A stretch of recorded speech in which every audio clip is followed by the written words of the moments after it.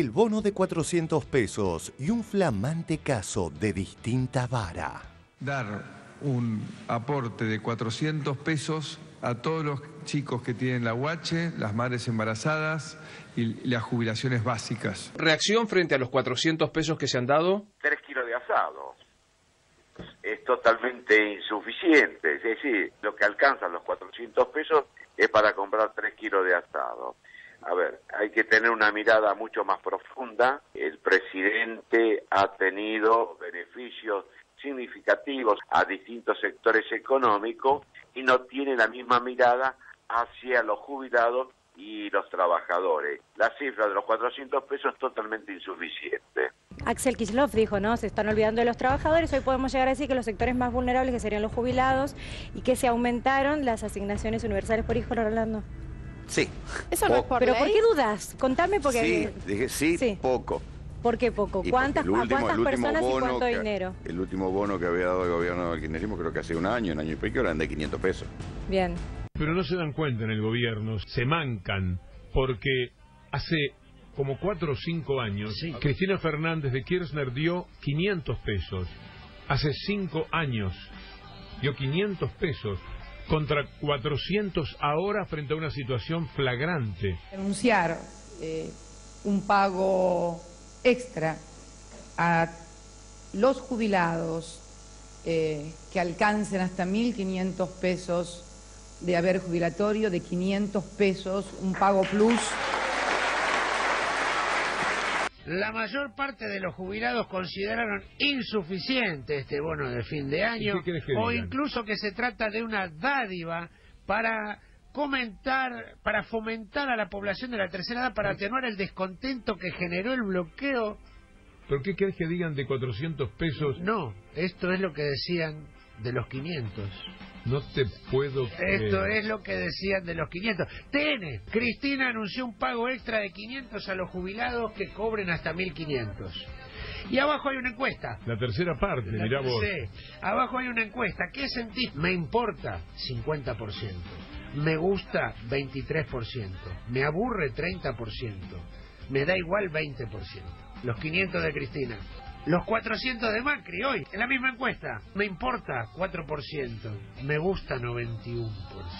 No te puedo creer. ¿Ves que la gente no solo dice mentime que me gusta? Es la cultura de la mentira que han instalado, porque todo no puede ser que les guste al 91% 400 pesos cuando no les gustó nada, 500 hace 5 años cuando la mínima era de 1.500 pesos. Estamos hablando de un valor que en muchos casos nos llega a dos kilos de carne. 3.300 millones de pesos calculan el, impacto el impacto sobre el presupuesto, y eso es una cifra chica, bastante chica con respecto a lo que es el presupuesto nacional, inclusive hasta si tomáramos el presupuesto de diciembre estamos hablando de una cifra que no debe afectar más del, yo te diría, 2 o 3% del presupuesto mensual de...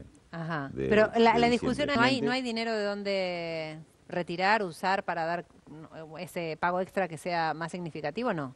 Hay formas, digamos, este, digamos estamos hablando con, un gobierno que, que abrió, abrió, las posibilidades de financiamiento y tiene acceso al financiamiento que eh, antes hasta por una cuestión de principios no se tenían, digamos, con el gobierno anterior había una, una, cuestión de manejar los números del, del, de las cuentas públicas con otro criterio, por, por la política de desendeudamiento y demás.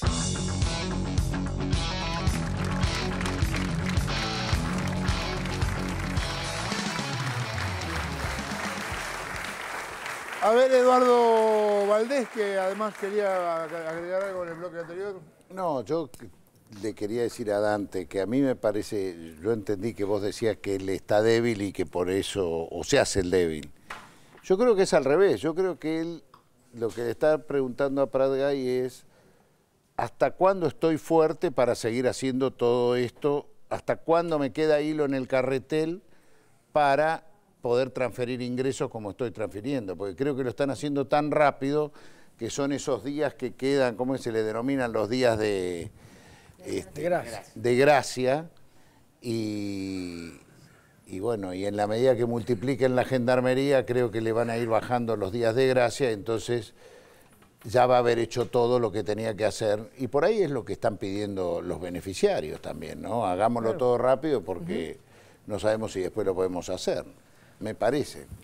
me parece que hay, completando lo que dice Eduardo, compartiéndolo plenamente, hay una voracidad de esos intereses que, representan y de esos que le están demandando, o sea que esa voracidad por esa transferencia, por agarrar todo, este, es mucho más fuerte que cualquier otra preocupación que puedan tener. Durante la campaña hablaron calidad institucional, de la calidad de la democracia, la república. Calidad institucional, decretos por oh. por decreto. Por eso, digo, entonces hablaban de calidad institucional, democracia, calidad democrática, todo eso, los buenos modales, el diálogo, y quedó absolutamente claro que la voracidad de los intereses económicos y corporativos que ellos representan y la voracidad de esos intereses, de esos grupos por hacerse de esos recursos, de que transfieren, está mucho más eh, adelante, está mucho más por encima que cualquier preocupación o cualquier supuesta preocupación sobre estos temas que decíamos de buenos modales, calidad institucional, decreto de necesidad de urgencia en la Corte, todo lo que ya hablamos.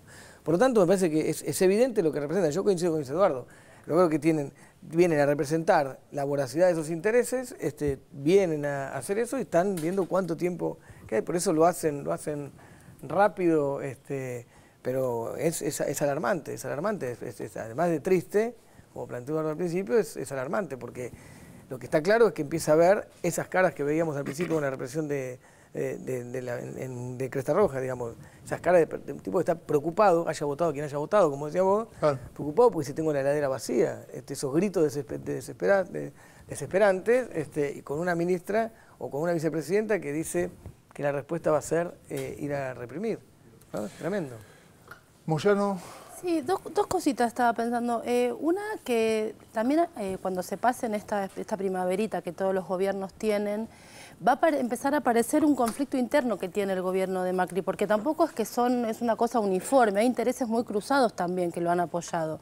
Entonces ahí va a aparecer un conflicto eh, respecto de los exportadores, los importadores, porque eso ahora pareciera, de hecho, digo, un, primer dato como para darnos cuenta que tampoco hay una, una primavera absoluta de parte de los que tienen el poder real en la Argentina, es que todas las, las silobolsas no es que largaron todo y están eh, eh, exportando y entonces, digamos, le están, claro, le están ajustando, largan un poquito, lo que les, digamos, porque quieren una devaluación aún mayor, con lo cual eso también es un problema político que Macri tiene.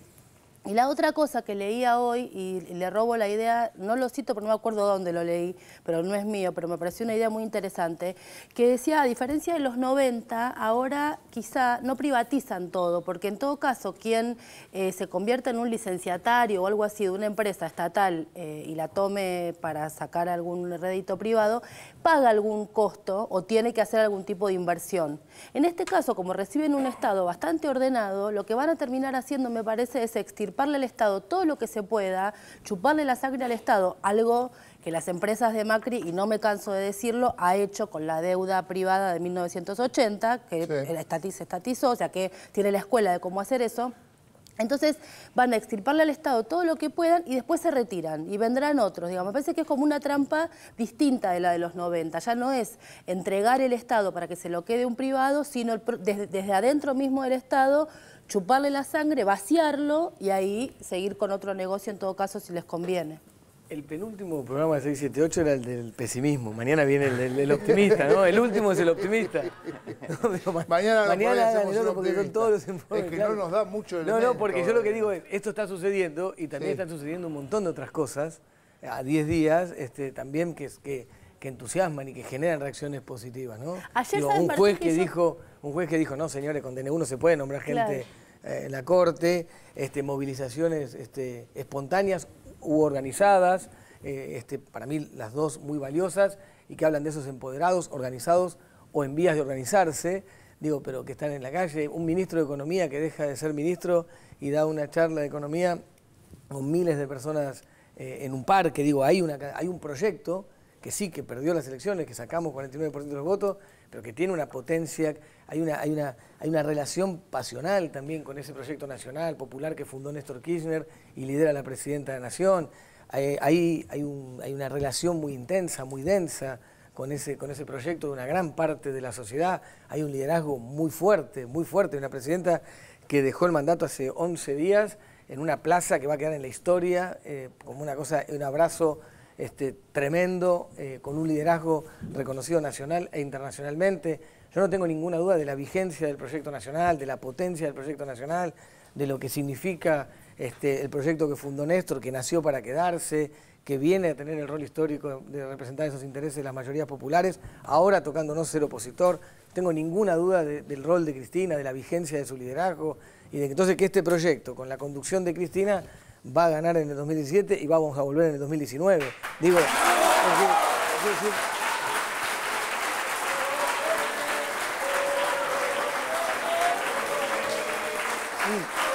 no digo, me agarró, me agarró un brote de optimismo, pero quiero decir, están pasando estas cosas también, ¿no?